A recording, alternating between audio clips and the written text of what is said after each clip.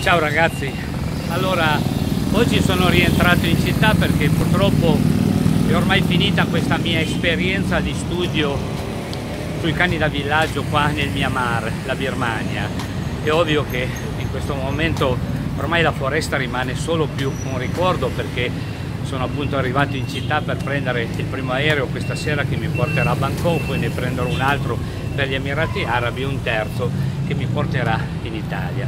Cosa dire di questa esperienza? Bene, qualcosa sicuramente di sensazionale, di eccezionale, poter osservare praticamente, ecco guardate qui uno che vuole praticamente offrirci uno dei tanti taxi dei tanti tuk-tuk disponibili. Ecco, poter studiare, vi dicevo, il cane in un ambiente dove può scegliere lui che cosa fare, non è l'uomo che decide per il cane, il cane che si sceglie questo padrone che gli dà il cibo, ma poi lui può comunque girare la, la città come preferisce, può cambiare padrone se lo desidera, può interagire con gli altri animali, può scegliere cosa mangiare, dove dormire, eccetera. Ecco, poter studiare queste cose è veramente illuminante per poter capire cos'è che il cane ha bisogno di noi e cos'è si aspetta dal suo padrone. Bene, questo filmato innanzitutto per ricordarvi appunto e rinvitarvi a questo evento che io farò l'1 e il 2 dicembre